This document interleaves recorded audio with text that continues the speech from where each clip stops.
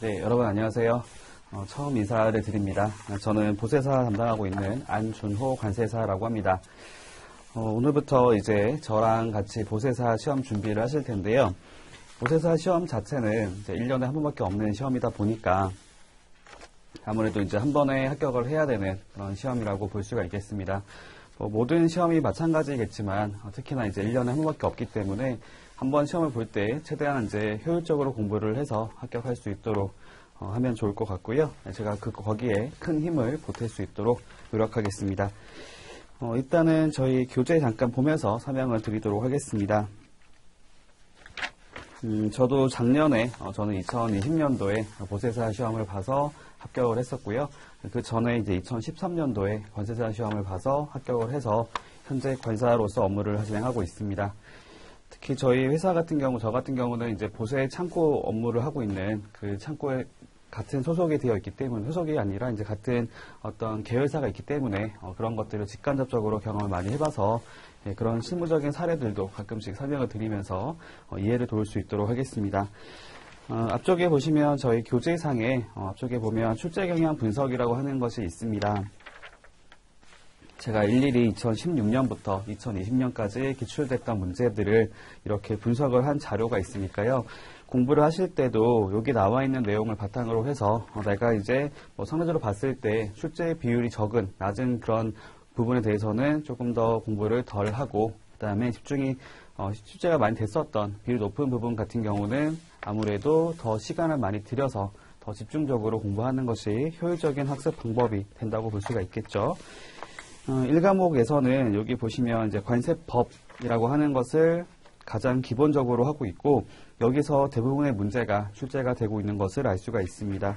여기 보시면 이제 뭐 고시도 여러 가지가 있어요. 여기 다 여기 보면은 다섯 개 정도 수입 수출, 그다음에 특성 물품, 반송, 그다음에 세관장 확인 뭐 관련해서 이렇게 출제된 저, 출제된 그런 비율이 나와 있는데 뭐 다 더해 봐다 더해 봐도 10% 어, 내외라고 볼 수가 있겠습니다.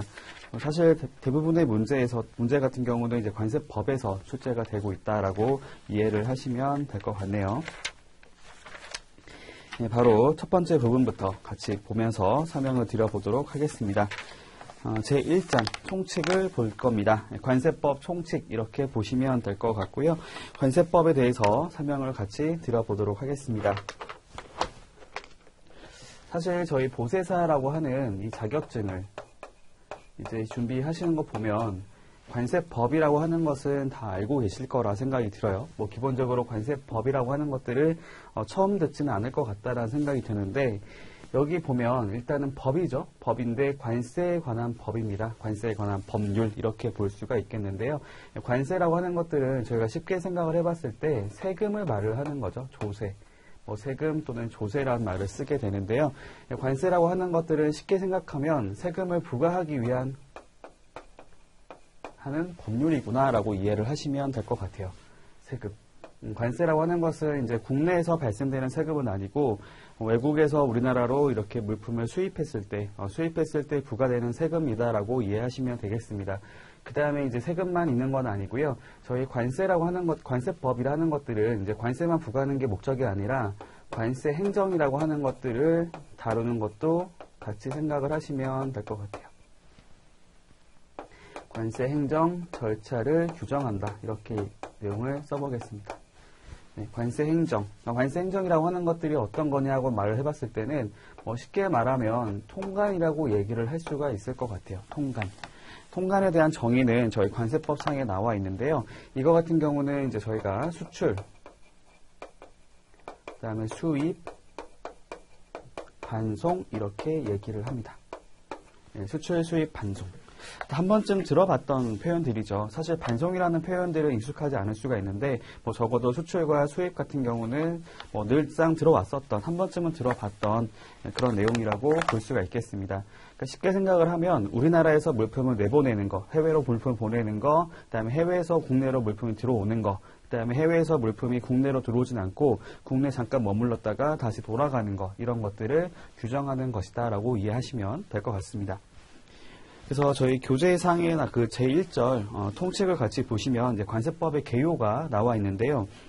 관세법의 목적부터 같이 보도록 하겠습니다. 관세법은 관세 부과 징수. 아까 말씀드렸던 이거네요. 세금을 부과하는 것이다. 즉, 관세를 부과하고 징수하는 것이다.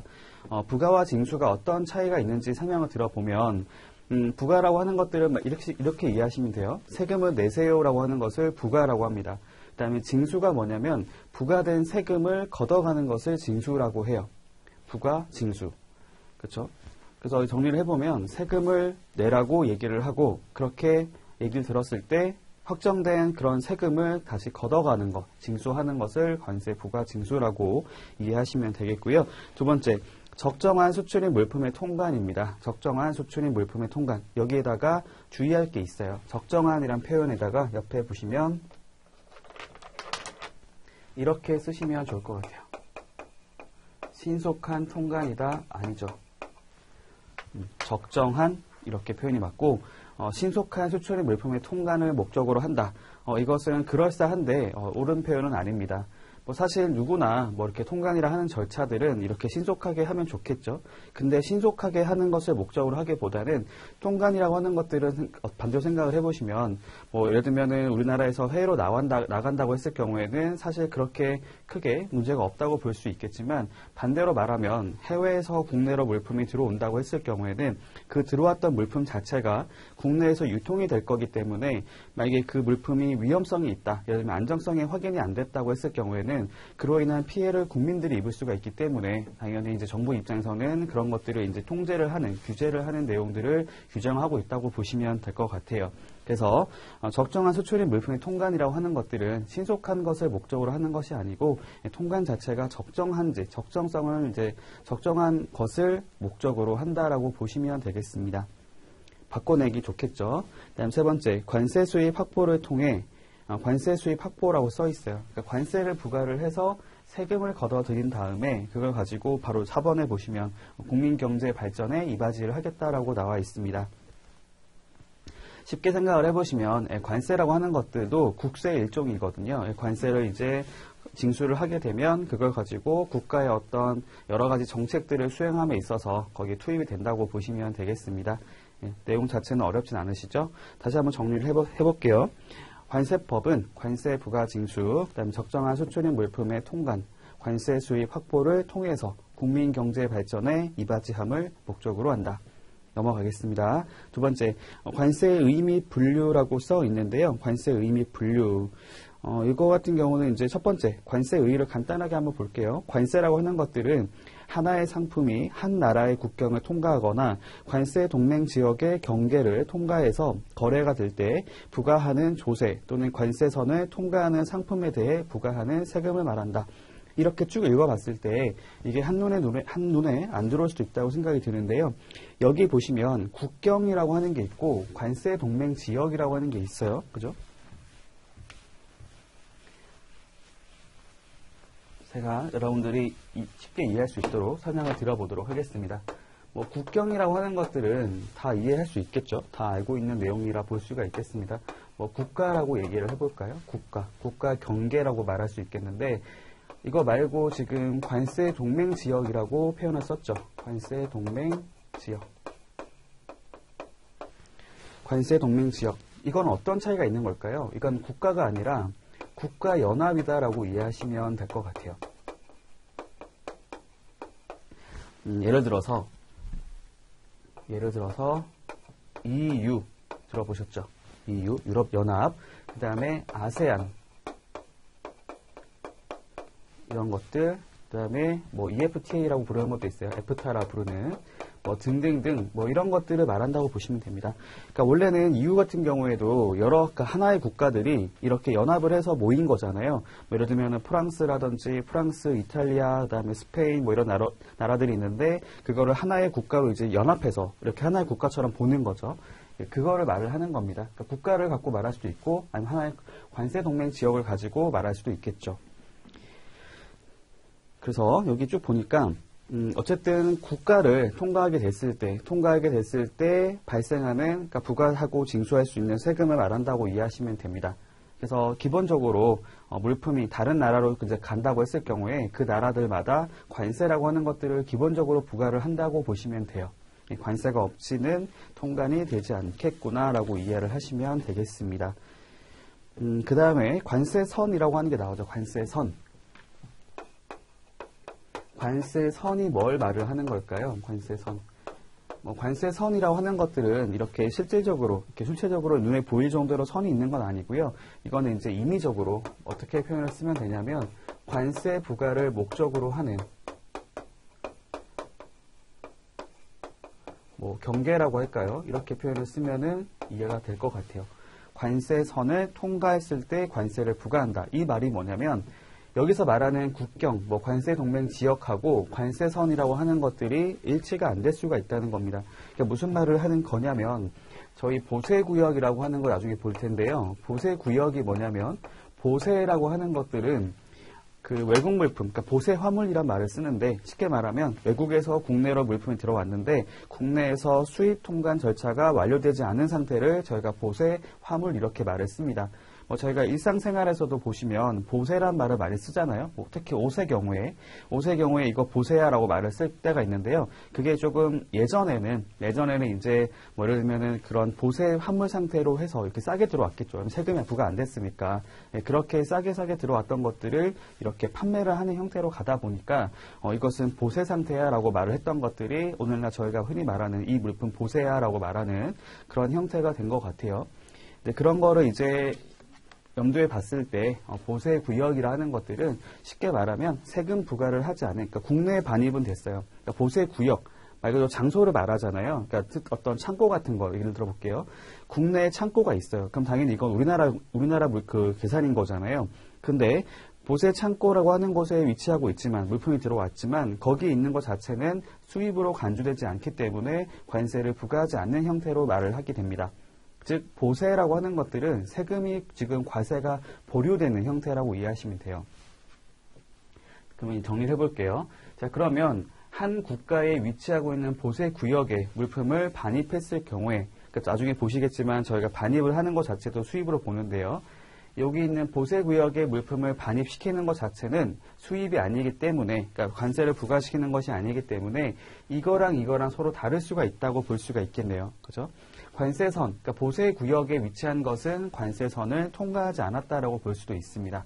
그렇게 보는 게 맞겠죠. 반대로 말하면 보세 구역에서 이제 보세 구역이 아닌 그 밖의 장소, 즉 국내로 물품을 갖고 온다고 했을 때는 관세선을 통과했기 때문에 통과됐기 때문에 관세를 부과 납부하지 않게 됐을 때는 어, 당연히 수입 통관 자체가 안 될 수가 있다고 이해를 하시면 될 것 같아요. 이제 좀 이해 가시죠? 관세선을 통과하는 상품에 대해 부과되는 세금을 저희가 관세 이렇게 표현을 씁니다. 원칙적으로 관세선을 통과하는 때인 수입, 수출, 반송 시 모두 관세, 관세를 부과해야 되지만 현행법은 수입 물품에 대하여만 관세를 부과하는 수입 물품 과세주의를 취하고 있다.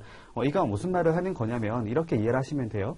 아까 제가 설명드렸던 거지 하나의 국가라든지 관세 동맹 지역 또 관세선을 통과하게 되면 기본적으로 관세라고 하는 것들을 발생시킨다고 말했잖아요.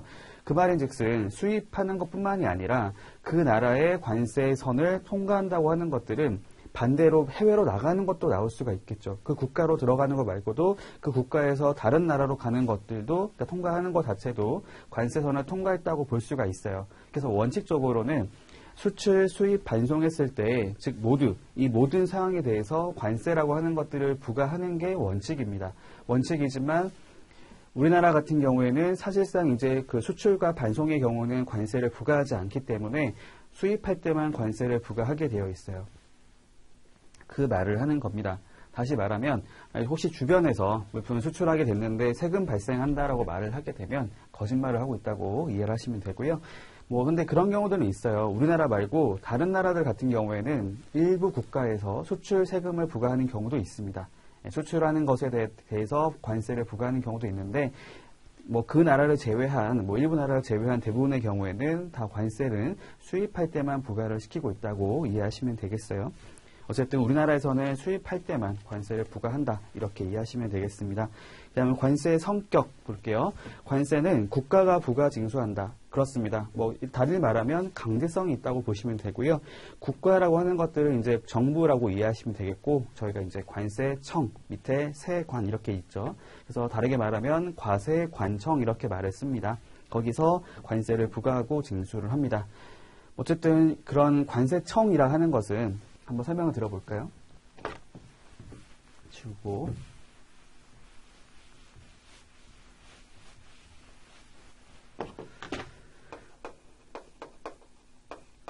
음,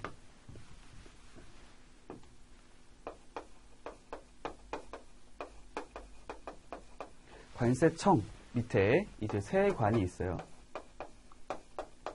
세관에는 세관장이 있을 거고 세관 공무원 이렇게 있을 겁니다. 사실 세관 공무원이라고 하는 용어 안에 세관장이 포함이 되어 있기는 한데 쉽게 이해를 돕기 위해서 말씀드려보면 어, 세관장이라는 것은 세관의 우두머리가 되겠죠. 세관의 어떤 그 가장 높은 직급을 갖은 거기 있는 사람 말하는 것이고 예, 세관 공무원이라고 하는 것들을 이제 민원을 상대하는 그런 사람들을 말한다고 보시면 됩니다.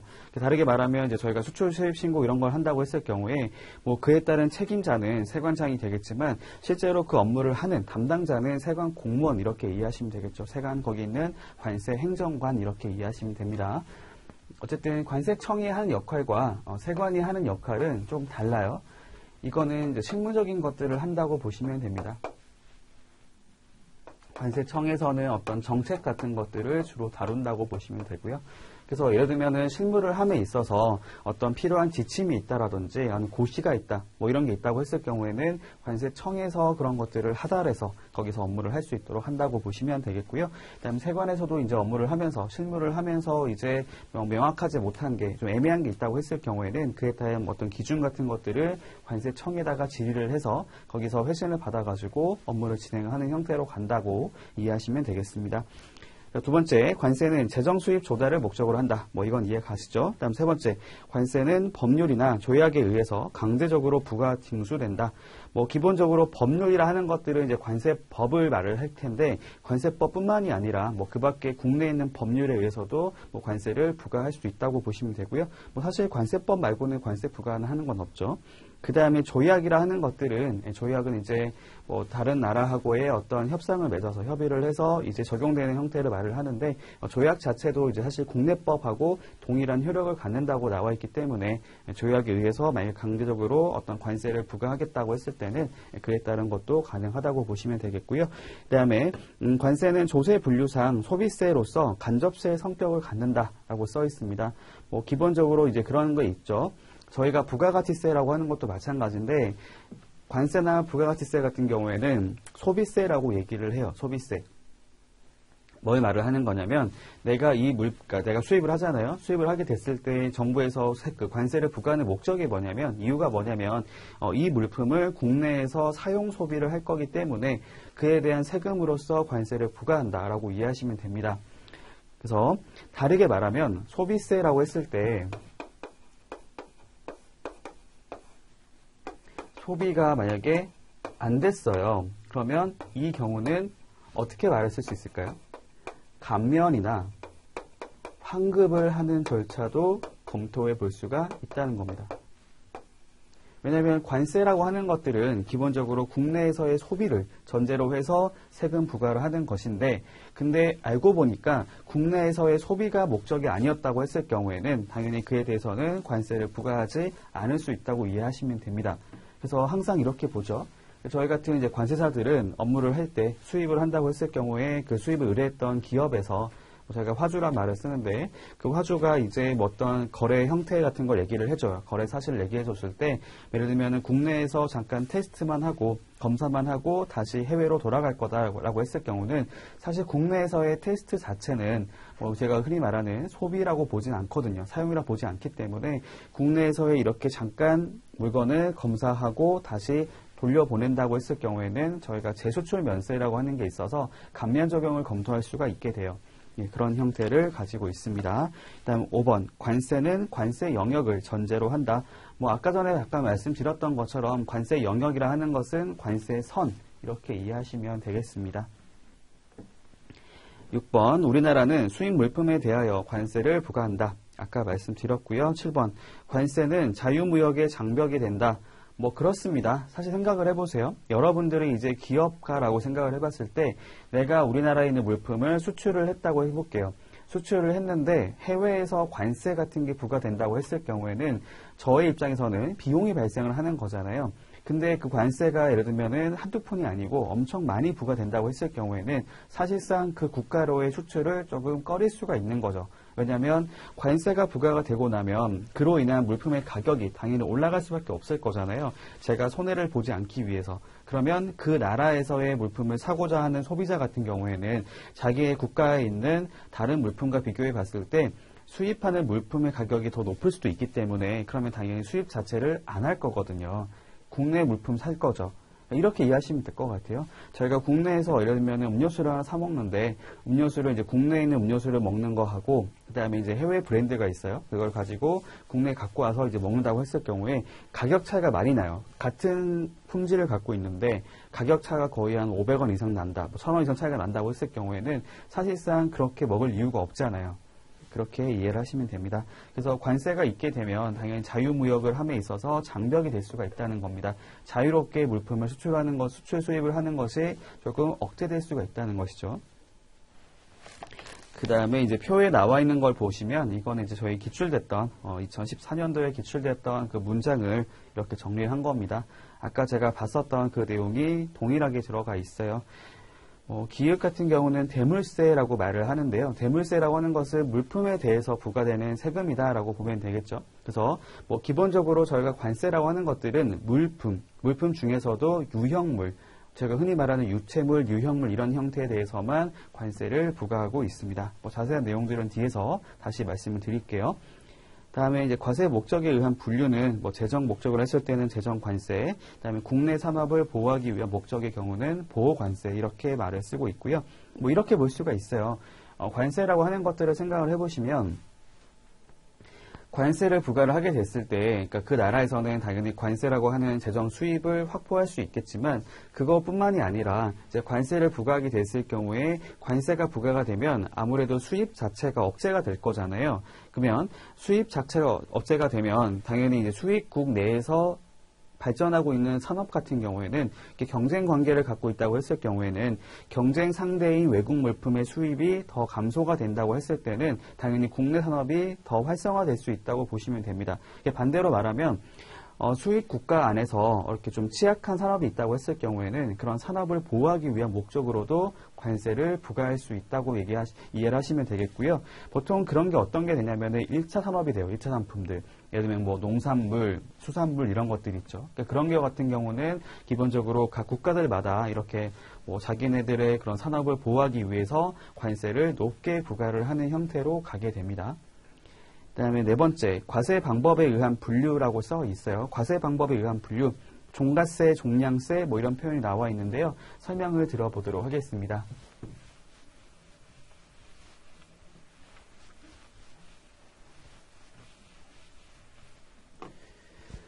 자, 종가세가 있고요. 종가세, 종량세가 이렇게 있네요. 차이가 뭘까요? 가, 다음에 량. 가라고 하는 것은 가격, 양이라고 하는 것은 수량 이렇게 이해하시면 됩니다. 다르게 말하면 종가세라고 하는 것은 물품의 가격을 기초로 해서 관세, 그러니까 세금을 부과하는 형태를 말하고 어, 종량세라고 하는 것은 이제 수량을 가지고 한다고 보시면 되는데요. 뭐 수량이라든지 뭐 중량 이런 게 될 수가 있겠죠. 예를 들면은 개당 얼마, 그다음에 뭐 킬로그램당 얼마 이렇게 되는 것을 말한다고 보시면 되고요. 위에 있는 종가세 같은 경우는 가격의 일정 비율만큼을 과세를 한다라고 보시면 됩니다. 뭐 기본적으로 우리나라 같은 경우는 대부분의 물품들이 종가세로 들어가 있어요. 대부분은 종가세가 부과된다고 보시면 되고요. 정말 일부, 극히 예외적으로, 어, 일부 예외적으로 종량세가 적용되고 있습니다. 어떤 게 있냐면은 촬영된 영화용 필름 뭐 이런 거 있어요. 그런 것들은 정말 일부 예외적으로 정말 극히 드물게 종량세가 적용이 되고 어, 대부분의 경우에는 대부분의 경우에는 다 종가세가 적용되고 있습니다. 여기 보시면 계산하는 방법도 나와 있고 어렵지 않죠. 그 다음에 그 밑에 어, 단일세와 혼합세가 나오는데요. 단일세라고 하는 것들은 이제 하나 뭐 종량세면 종량세, 종가세면 종가세 이렇게 되는 걸 말하고 이제 혼합세라고 하는 것은 둘 중에 하나를 고르는 형태가 되는, 그러니까 두, 두 개가 적용되는 형태를 말을 하는 거겠죠. 그러니까 그 경우에 이제 혼합세는 종가세와 종량세 중에서 유리한 쪽을 택하여 과세하는 관세를 말한다라고 써 있고 그 밑에 보시면 선택세와 복합세 뭐 이렇게 구분이 되어 있습니다. 선택세는 그 중에 높은 관세를 부과하는 것이고 복합세는 합산해서 부과하는 것을 말한다라고 써 있으니까 정리 한번 해주시면 좋을 것 같고요. 자, 한번 관세법의 성격 보겠습니다. 네, 이거는 이제 오른쪽에 나와 있는 표를 가지고 정리를 해볼게요. 관세법의 성격은 그러니까 간단하게 생각을 해봤을 때 크게 두 가지가 먼저 떠오를 수가 있을 것 같아요. 일단 세금을 부과하는 게 있었잖아요. 관세 부과. 그거는 조세 법적인 성격을 갖고 있다. 그러니까 무슨 말을 하는 거냐면 관세라고 하는 것을 이제 세금 부과를 하기 위해서는 과세 요소, 그러니까 과세 과세 요건이라 부르는 그 과세를 하기 위한 요건들이 필수가 있, 필수로 들어가거든요. 그러니까 무슨 말을 하는 거냐면 과세 대상이 해당이 되어야 되고 그다음에 뭐 과세 물건이 과세 대상 되고 나면 그다음에 그 납세 의무자가 있어야 되고 뭐 세율도 있어야 되고 뭐 이런 게 있어요. 그러니까 기본적으로 필요한 과세를 하기 위해 반드시 있어야 하는 것들이 다 구성이 되어 있어야 하고 그다음에 과세를 하는 논리에 맞게끔 과세가 돼야 되거든요. 그러니까 그런 것들을 규정을 하고 있다고 보시면 되고 그다음에 아까 말씀드렸던 것 중에 관세 행정이라고 하는 것이 있었잖아요. 관세 행정이라고 하는 것들은 이제 통관에 관련된 거라 보면 되기 때문에 그것을 저희가 통관 법적 성격이라고 얘기를 합니다. 뭐 기본적으로 물품을 이렇게 수출 수입 반송을 하는 것 들을 말한다고 보시면 되겠고요. 그다음에 형사법적인 성격이 있어요. 형사법적 성격. 이게 뭐냐면 형사법이라는 것들은 처벌되는 걸 말을 하는 거겠죠. 뭐 이렇게 조사와 조사가 되고 처분을 하는 뭐 어떤 법을 어겼다고 했을 경우에 그 법을 어긴 자에 대해서 이렇게 처벌을 하는 조사를 하고 처벌을 하는 그런 내용들이 있다고 보시면 되겠고 그 다음에 국제법 수용적 성격이 있어요. 이게 뭐냐면 기본적으로 저희가 관세라고 하는 것들은 관세법, 즉 국내법에 따라서 관세를 부과하긴 하는데 그거랑 별개로 관세라고 하는 것들이 우리나라만 부과하는 것이 아니라 전 세계적으로 다 부과를 하고 있다 보니까 뭐 예를 들면 저희가 WTO라고 해가지고 그 World Trade Organization이라 하는 세계 무역 기구 회원국들끼리는 또 뭐 예를 들면 협의를 같이 할 수도 있는 거잖아요. 서로 간에 우리 협의를 해서 우리끼리는 어떻게 하자라고 하는 것들이 나올 수가 있는데 여기 보시면 덤핑 방지 관세라든지 뭐 지적, 지적 재산권이라 부르는 또는 원산지라 하는 것들은 사실 우리나라만 또 그 적용받는 것이 아니라 전 세계적으로 이렇게 같이 적용을 하자라고 이렇게 협의를 한 것들이 있어요. 그러니까 그런 것들을 그대로 수용했다고 보시면 됩니다. 그러니까 무슨 말을 하는 거냐면 덤핑 방지 관세에 대해 잠깐 말씀드려보면 덤핑 방지 관세는 어, 말 그대로 덤핑이 뭐냐면 가격을 낮추는 걸 말을 해요. 그러니까 정상 가격이라 말을 썼을 때 정상 가격보다도 낮게 낮게 가격을 낮춰서 부당하게 낮춰서 경쟁을 이제 힘들 불리하게 만드는 형태라고 이해하시면 됩니다. 그러니까 그런 것들은 전 세계적으로 이제 맞게 규제를 하게끔 되어 있거든요. 그래서 예를 들면은 우리나라에서 수출했던 물품에 대해서도 상대 국가에서 덤핑 방지 관세라고 하는 것들을 부과할지 말지를 검토할 수가 있는 거고 반대로 말하면 우리나라에 수입되는 물품에 대해서도 덤핑 여부를 판단해서 덤핑 방지 관세라 부르는 것들을 부과할 수 있게끔 하고 있어요. 그러니까 서로 간에 협의를 한 거죠. 그러니까 그런 것들은 우리나라만 있는 게 아니고 같이 이렇게 협의했던 것들을 국내법으로 수용을 해서 그에 따라서 조치를 취한다라고 이해하시면 됩니다. 그래서 아까 말씀드렸던 것이 국제법을 수용하는 성격을 가지고 있다. 그 다음에 통칙법적인 성격도 있다. 뭐 관세에 관한 기본적인 사항들, 뭐 공통되는 사항들 나와 있고요. 그 다음에 소송법적 성격도 있다. 이게 뭐냐면 저희가 이런 상황이 발생할 수가 있죠. 그러니까 관세법에 따라서 또는 관세법이 아닌 기타 법률 조약 등에 따라서 이제 관세라고 하는 것이 부과가 됐어요. 근데 부과되는 것을 보니까 이 처분 자체가 그러니까 관세 부과 처분이라고 하는 것 자체가 부당할 수도 있잖아요. 부당할 수도 있고 그다음 법을 어긴 게 될 수도 있는 거죠. 즉 위법하거나 부당한 처분이 있다고 했을 경우에는 그에 대한 구제 조치를 요청할 수가 있다는 겁니다. 저희가 마치 어떤 피해를 입었을 때 저희가 소송을 할 수가 있잖아요. 똑같이 관세 행정으로 인해서 내가 불이익을 당했다, 불이익을 입었다고 했을 경우에는 그거에 대해서 구제 조치를 요청할 수가 있다는 겁니다. 그게 바로 소송법적인 성격이 있다라고 얘기를 하고요. 여기 보시면 뭐 이의 신청, 심판 청구, 뭐 심사 청구와 같은 그런 절차들이 있어요. 이런 것들은 나중에 뒤에서 같이 보면서 정리를 해보도록 하겠습니다. 뭐 정리 가능하시죠? 뭐 사실 이걸 가지고 이렇게 뭐 통째로 물어보기는 힘들 것 같아요. 여기 보시면 그동안 기출했던 적도 없었기 때문에 이건 가볍게 한번 듣고 넘어가시면 되겠습니다. 자, 그 다음에 중요한 거 나옵니다. 용어의 정의. 여기가 저희 시험에 자주 나왔던 거의 뭐 한 문제씩은 꼭 나온다고 볼 수 있는 그런 부분이기 때문에 조금 집중을 해서 봐주시면 좋을 것 같아요. 자, 용어의 정의 같은 경우는 특히나 이제 올해 초에, 그러니까 올해, 그러니까 작년 말에 개정된 게 있었거든요. 12월 달에 개정이 돼서 이제 올해 1월 1일부터 시행되고 있는 것들 중에서도 용어가 바뀐 것들이 몇 가지가 있어서 특히나 조금 더 어, 주의해서 좀 더 집중해서 봐주시면 좋을 것 같습니다. 첫 번째, 어, 수입에 대한 정의를 볼게요. 수입. 아무래도 저희가 이제 관세라고 하는 것들은 수입 물품에 대해서 부과되기 때문에 수입이 굉장히 중요하다고 볼 수가 있겠죠. 뭐 다른 용어 정의도 중요하지만 그 중에 가장 중요한 걸 꼽으라 그러면 아무래도 수입이라고 얘기를 할 수가 있을 것 같아요. 수입. 수입은 크게 두 가지로 나눠서 볼 수가 있습니다. 두 가지. 수입은 국내로 물품을 반입하는 것. 두 번째로는 물품을 소비하거나 사용하는 것. 이렇게 얘기를 할 수가 있어요. 근데 물품이라 하는 것들은 제가 이제 정확히 말하면 외국 물품을 이렇게 이해하시면 됩니다. 외국 물품. 외국 물품에 대한 정의는 나중에 뒤에 나오는데요. 쉽게 생각을 해보시면 우리나라에 있는 물품이 아니라 해외에서 구매해, 그러니까 해외에 있는 물품이 국내로 온다고 보시면 돼요. 그러니까 외국에서 국내로 들어오는 물품을 저희가 외국 물품 이렇게 이해를 하시면 되겠어요. 즉 외국에서 외국의 물품이 국내로 반입이 되거나 국내에서 소비되거나 사용되는 경우를 저희가 수입 이렇게 말을 씁니다. 근데 이거 조금 더 세분화시켜 보면 반입 같은 경우에는 두 가지 소비 또는 사용도 두 가지로 이렇게 구분을 할 수가 있어요. 첫 번째, 반입. 우리나라에 반입하는 것 이렇게 말했습니다. 국내에 반입하는 것. 두 번째, 이게 뭐냐면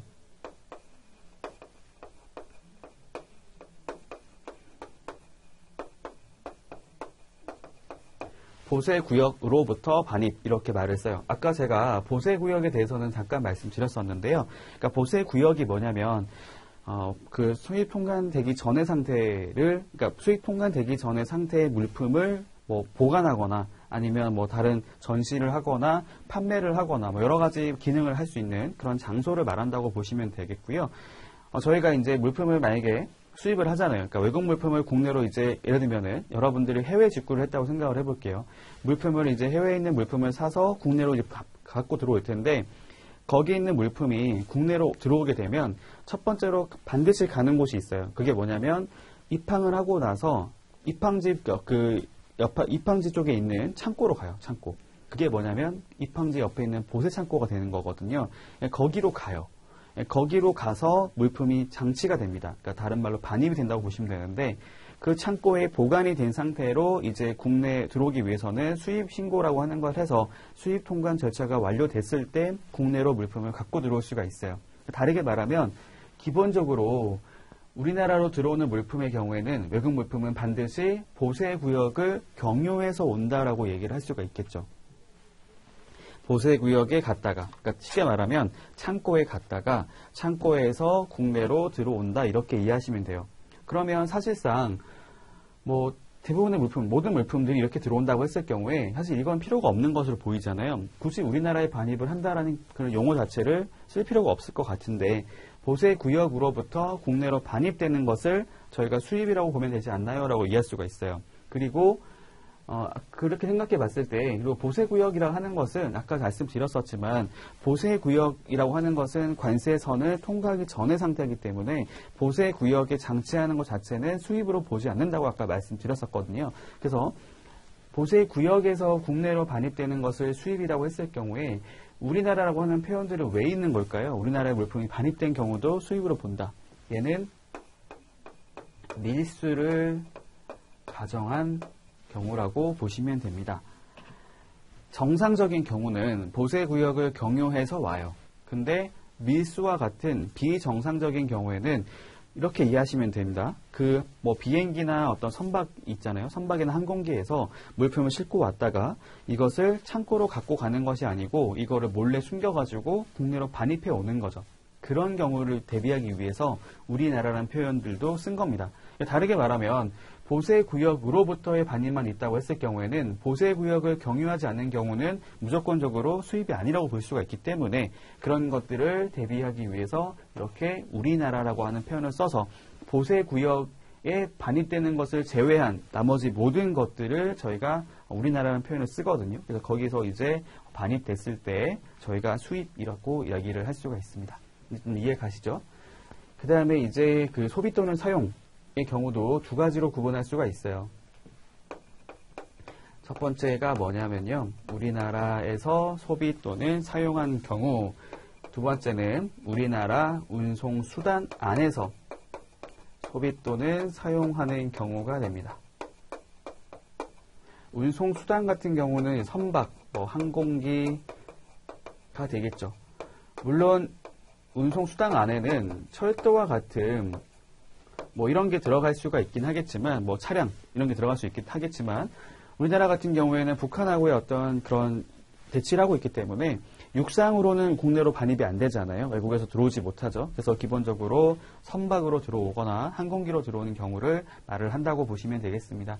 그래서 이렇게 정리를 할 수가 있어요. 우리나라에 우리나라에서 물품을 사용하거나 소비하거나 사용하는 경우에는 수입이 됐다고 볼 수가 있겠고 우리나라 운송 수단 안에서 소비하거나 사용하는 경우에도 수입이 되었다라고 볼 수가 있겠습니다. 자, 그러면 이제 헷갈리는 게 있을 거예요, 분명히. 그러면 이제 저희가 흔히 말하는 게 해외 여행을 갔다가 여행을 갔다가 국내로 들어오기 전에 그 선박 안에서 또는 항공기 안에서 이렇게 물품을 구매했던 물품들을 소비하는 경우들이 있잖아요. 예를 들면 뭐 초콜릿 사, 해외 나갔다가 어떤 디저트 같은 게 맛있어 보여가지고 그걸 샀어요. 근데 오는 길에 배가 고파서 이렇게 그 항공기 안에서 이렇게 먹었어요. 그럼 이것도 수입으로 봐야 되는 거 아닌가요? 라고 이해할 수가 있잖아요. 원래 원칙은 맞는데 뒤에 보시면 예외적인 경우가 또 있어가지고 그거는 또 예외로 둬서 제외를 시키는 게 또 나옵니다. 아무튼 이거에 대해서 이제 정리가 되죠. 한번 교재 보면서 말씀드려볼게요. 자, 관세법상 수입이란 다음에 어느 하나에 해당하는 것을 말한다. 반입하고 소비 또는 사용 이렇게 나와 있고요. 어, 1번 외국 물품은 우리나라에 반입하는 것이라고 써 있습니다. 아까 말씀드렸던 이거죠. 우리나라에 반입하는 것. 그다음에 두 번째 보세 구역을 경유했을 때는 외국 물품을 보세 구역으로부터 반입하는 것 이렇게 써 있죠. 이해 가실 거라고 생각이 듭니다. 그 다음에 이제 밑에 보시면 이제 반입에 대한 각주가 있어요. 5번에 보면은 소유권 이전, 뭐 사용권 이전 목적으로 반입하는 것을 포함한다. 이 말이 뭐냐면 반드시 유상거래 형태만 말하는 것이 아니고 유상, 무상 여부를 불문하고 우리나라 들어오는 것 행위 자체를 말한다고 이해하시면 되겠습니다. 그 다음에 이제 영토 밑에 이제 그 우리나라에 대한 각호를 보시면 영토라고 해서 영토는 한반도와 부속 도서 북한도 포함이다. 영해 12해리까지 인정이다. 뭐 이런 것까지 시험에 나오지는 않으니까요. 참고로 보시면 되겠습니다. 두 번째 소비 또는 사용 볼게요. 1번 외국 물품을 우리나라에서 소비 또는 사용하는 것. 두 번째 어, 외국 물품을 우리나라의 운송수단 안에서의 소비 또는 사용하는 것 여기 나와 있었죠. 아까 말씀드렸던 그 내용들을 규정하고 있습니다. 음, 한번 이렇게 말해 볼까요? 예를 들어 가지고 아까 위에 봤을 때 보세 구역의 물품을 반입하는 것은 수입이 아니라고 말씀드렸죠. 그렇죠? 여기 보시면 보세 구역으로부터라기 때문에 우리나라는 보세 구역은 제외가 됩니다.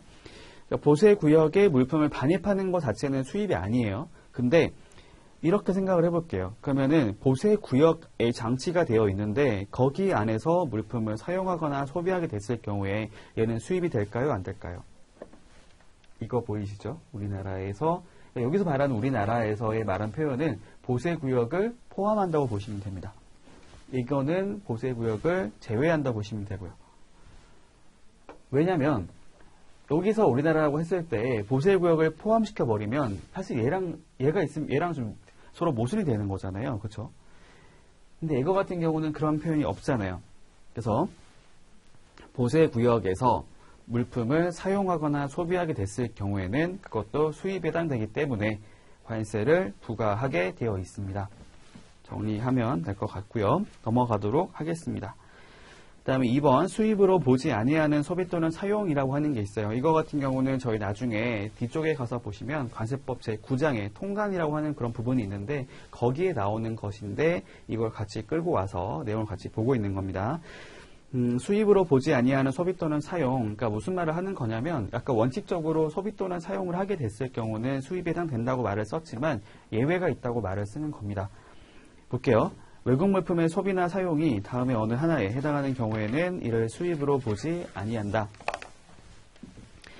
1번 선박용품, 항공기용품 또는 차량용품을 운송수단 안에서 그 용도에 따라 소비하거나 사용하는 경우 자 이게 뭔지 말씀을 드려볼게요. 어, 뭐냐면 그거예요. 그러니까 아까 제가 예를 들어 말씀드렸던 것처럼 저희 개인이 개인들이 해외로 갔다가 여행을 갔다가 돌아왔어요. 마치고 오는 길에 저희가 장기간 조금 시간에 걸리는 경우에는 항공기 같은 경우에 비행기 안에서 그 기내식이 나오는 거 아시잖아요. 그죠? 거기 안에서의 어떤 음식 같은 걸 협식할, 수, 협식을 할 수가 있어요. 그러니까 다르게 말을 해보면 음식이나 음료 같은 것들을 거기서 소비를 하는 것도 사실상 같은 형태라 볼 수가 있을 거잖아요. 그렇죠? 거기 안에서 먹는 것들 여기 보니까 보시면 선박용품, 항공기용품, 차량용품이라는 용어가 나왔는데 이것도 나중에 뒤에 정의가 나오거든요. 저희가 이제 기내식 같은 것들을 저희가 항공기 용품이라 말을 써요. 그 말이 뭐냐면 항공기 안에서 거기에서만 거기에서만 운송을 위해서 그 소모되는 것들 있죠. 예를 들면 연료라든지 연료나 아니면 나중에 혹시 모를 사고에 대비를 해서 어떤 뭐 수리를 할 수 있는 예비 부분품이라든지 아니면 어떤 밧줄 같은 거라든지 뭐 여러 가지가 나올 수가 있잖아요. 그러니까 그런 것들을 말을 하는 겁니다. 음식도 마찬가지겠죠. 음식, 연료 뭐 이런 것들. 그러니까 그런 것들을 저희가 항공기 용품이란 말을 쓰고 선박에서 사용하는 것들은 선박 용품, 차량에서 사용하는 것들은 차량 용품이란 말을 쓰는데 그러니까 그런 것들을 그 안에서 운송 수단 안에서 사용하거나 소비하는 경우는 저희가 수입으로 보지 않습니다. 다르게 말하면 기내식을 먹었다고 해서 그 자체가 수입에 해당하는 행위가 되지 않는다라는 것이죠. 근데 여기 보니까 그 말이 있어요. 네. 용도에 따라 소비하거나 사용하는 경우라고 써 있기 때문에 그 용도, 해당 용도에 맞게끔, 해당 용도에 맞게끔 하는 경우만 허용이 되는 것이고, 바르게 말하면 해당 용도에 가 아니라 다른 용도로 사용하거나 소비했을 경우에는 이건 또 수입으로 볼 수 있다라는 점을 조금 주의하시면 되겠습니다. 일단 이번 시간은 여기까지 하도록 하고요. 조금 음, 다음 시간에는 이제 이어서 또 살펴보도록 하겠습니다.